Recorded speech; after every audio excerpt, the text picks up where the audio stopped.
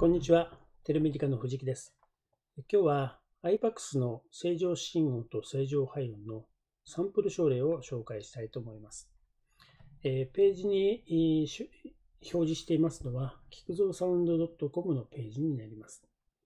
えー、下の方に URL を貼っておきますけれども、検索でキクゾーサウンド .com を検索していただきますと、このページが表示されるかと思います。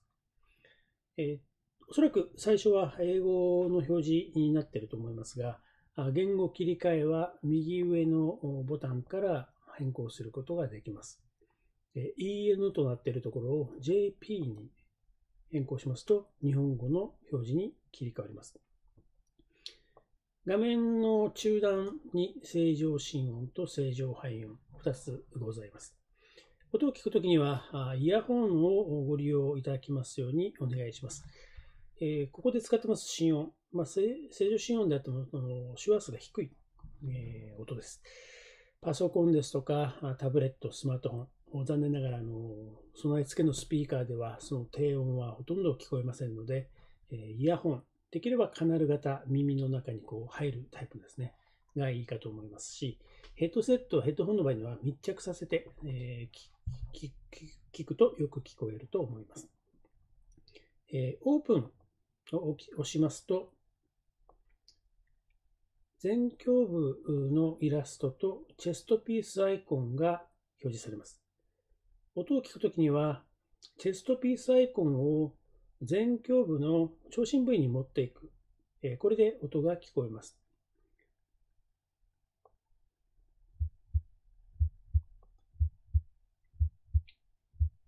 大動脈弁部の心音。2音の方が大きいですね。今、チェスピースアイコンをマウス操作でドラッグして移動させましたけれども、長心部位をクリックしても音が聞こえます。クリックしてみます。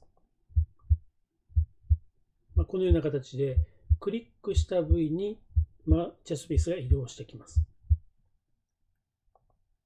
で、30秒経ちますと、音が、えー、ストップします。その場合には、左下のリフレッシュボタンを押してください。これによって音がまたスタートに戻ります。えっ、と、実際にログインして聞く場合には、音はもう少し長いものを用意しておりますけれども、サンプルケースとして、これはログインしなくても皆さん聞けるようにしておりますので、時間は30秒。音が止まったらリフレッシュボタンというふうに覚えていただければと思います。三線面分。ここは一音の方が大きい。新線分。小持の方が大きいですね。で、えっ、ー、と、下にあります APTM ボタンを押しますと、それぞれ大動脈弁部位、アオリティックエリアの A ですね。えー、肺動脈弁部位、三線弁部位、総合弁部位。それぞれの最強点に移動します。A ボタンを押してみます。大動脈分。最強点と言いましたけれども、実はこれを最強点を外すと音が小さくなりました。最強点に持っていくと音が大きくなります。えー、こういう機能が HyperX にはございます。それから、あここにあります3つのアイコン。2つ目は、脈の機能をオンにするボタンなんですけれども、脈の機能を使うときには聞く像が必要になります。今回、このサンプルケースには、聞く像がない前提でお聞きいただくということを考えておりますので、この脈の機能はつけておりません。実際にお試しいただきたい、お試しになる場合には、リクエストいただければ、お試し用のライセンスを発行させていただきます。その下にありますボタン、こちらを押してみますと、グリーンの色がついて、これは肺の機能がオンになったということを示すアイコンでございます。先ほどと同じように、大動脈弁部に持ってきますと、吸気、呼気、吸気、えー、心音と肺音が同時に聞こえます。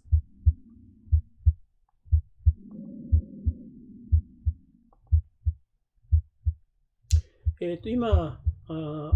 チェストピースを移動させましたけれども、お聞きになってお分かりになった方も気づいた方もいられおらいらっしゃるんじゃないかと思いますが、あ心音も呼吸音もずれません。えー、声帯と同じようにチェストピースが乗った位置がその音が聞こえて場所を変えても心臓はビートしておりますのでそのタイミングがずれずに音が聞こえるというふうなことも iPAX の機能になります。音が止まった場合にはリフレッシュボタンを押すと音が聞こえる。呼吸音はこの辺りの部位は気管支呼吸音になりますので、比較的こう爽やかな音が聞こえますが、新鮮部になりますと、呼吸音が優しくなります。肺胞呼吸音になります。あるいは、頸部に持っていきますと、まあ、通常心音は聞こえませんが、え呼吸音は気管呼吸音と激しい音になります。これが正常心音の症例になります。えっと、機能としましては、下の方にスライドで説明しております。APTM ボタンを押して、心臓の聴診部位にアイコンが移動するということとか、それ以外にも、オンラインのシステムであるんですけれども、例えば、教室を移動して、インターネット環境が弱いところ、ないところでも利用ができるようにオフラインで使える機能も持たせております。あるいは、先ほどの全鏡部イラストを画面いっぱいに拡大するような機能、利用したログを管理するような機能に加えまして、AI で学習サポートするような機能も持ち合わせております。これが iPAX になります。でもう一つ、正常肺音。こちらについては、先ほどと同じように心音、肺音、えオンオフができます。えこれで、え呼吸音。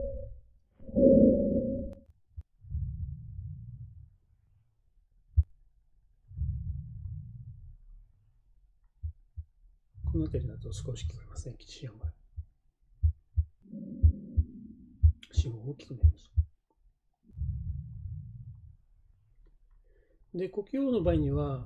いろんなその、ええー、と聴診部位がありますけども、背中側でも当然、えー、聞く必要がありますので、背中に向けて聴診する。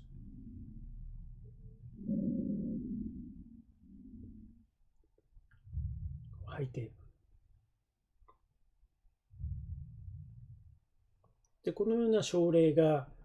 心音は正常心音だけではなくて、えー、3音、4音、あるいは AS といった心雑音、AR、いろいろなタイプがございます。肺音についても、正常肺音、え、 coarse crackle、fine crackle、wheeze、いろんな種類の症例を置いてる置いてますので、え、もしこの動画をご覧になって興味があるという方は、ぜひトライアルのライセンスを申し込みください。この下に、下の方に URL を貼っておきます。今日は iPAX の正常心音と正常肺音を紹介させていただきました。えー、質問などありましたら、ぜひお問い合わせください。